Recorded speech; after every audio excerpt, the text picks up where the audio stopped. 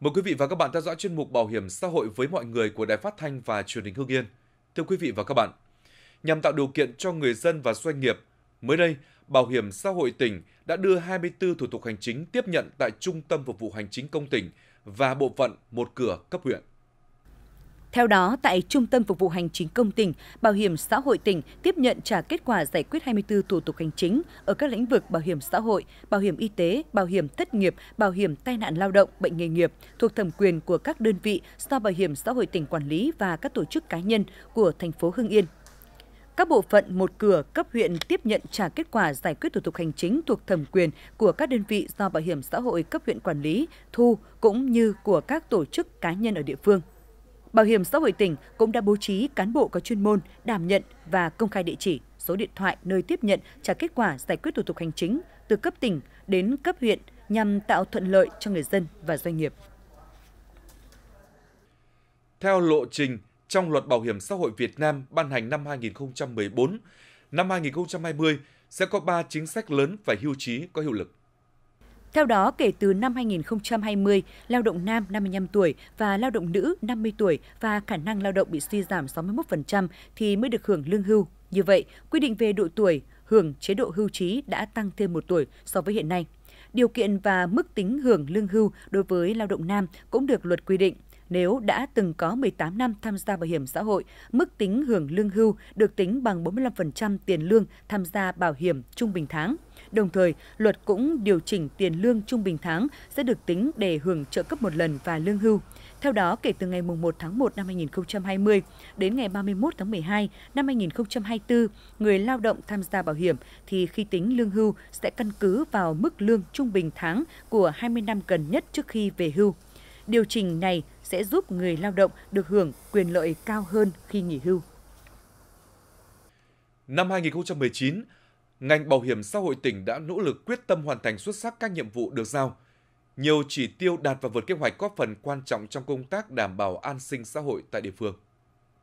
Năm 2019, Bảo hiểm xã hội tỉnh Hưng Yên hoàn thành tất cả các chỉ tiêu chính phủ, Bảo hiểm xã hội Việt Nam và Hội đồng Nhân dân, Ủy ban Nhân dân tỉnh giao, trong đó nhiều chỉ tiêu chính đều đạt và vượt so với kế hoạch. Đó là số người tham gia bảo hiểm xã hội bắt buộc đạt trên 211.000 người, đạt 105%, tăng gần 11.000 người so với năm 2018, trên 1 triệu 67.000 người tham gia bảo hiểm y tế, đạt tỷ lệ bao phủ 89% dân số toàn tỉnh. Nợ động chỉ còn 2% số thu. Đây là chỉ tiêu rất khó đạt nhưng Bảo hiểm xã hội tỉnh đã thực hiện được. Năm 2019 với cái sự quyết tâm chính trị cao lãnh đạo bảo hiểm xã hội tỉnh thì đã chỉ đạo triển khai đồng bộ, quyết liệt các giải pháp. Trong đó nó tham mưu với tỉnh ủy, hội đồng nhân dân để giao cái chỉ tiêu phát triển đối tượng tham gia bảo hiểm xã hội, bảo hiểm y tế vào cái chỉ tiêu phát triển kinh tế xã hội của tại địa phương. Hỗ trợ thêm một phần mức đóng cho các đối tượng, đặc biệt là đối tượng cận nghèo, học sinh và một số đối tượng khác để đảm bảo cái đối tượng tham gia bảo hiểm xã hội, bảo hiểm y tế của tỉnh nhà được ờ, tiếp cận cái dịch vụ tốt nhất. Bảo hiểm xã hội tỉnh cũng đã rất là quyết liệt giảm nợ động bảo hiểm xã hội, bảo hiểm y tế tại các doanh nghiệp và các đơn vị sử dụng lao động. Đáng chú ý nhất trong năm qua, Bảo hiểm xã hội tỉnh đã vượt lên là một trong những tỉnh đứng top đầu toàn quốc về phát triển tăng nhanh đối tượng tham gia bảo hiểm xã hội tự nguyện. Toàn tỉnh có gần 9.000 người tham gia, đạt gần 112% kế hoạch giao, tăng 7.300 người, gấp 6,2 lần so với năm 2018. Để có kết quả này là do ngoài việc phối hợp với các cấp chính quyền, đoàn thể trong tỉnh đẩy mạnh tuyên truyền về chính sách tham gia bảo hiểm xã hội tự nguyện, Bảo hiểm xã hội tỉnh đã phát động thi đua chuyên đề đẩy mạnh phát triển đối tượng tham gia trong công chức viên chức người lao động thuộc cơ quan bảo hiểm xã hội tỉnh.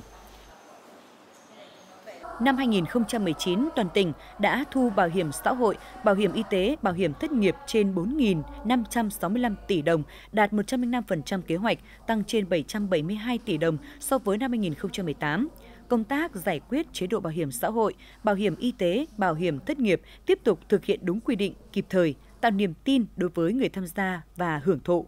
với những kết quả đạt được sẽ là động lực để toàn ngành bảo hiểm xã hội tỉnh tiếp tục phấn đấu hoàn thành tốt nhiệm vụ năm 2020. Chuyên mục Bảo hiểm xã hội với mọi người của Đài Phát thanh và Truyền hình Hưng Yên xin được khép lại tại đây. Cảm ơn quý vị và các bạn đã quan tâm theo dõi.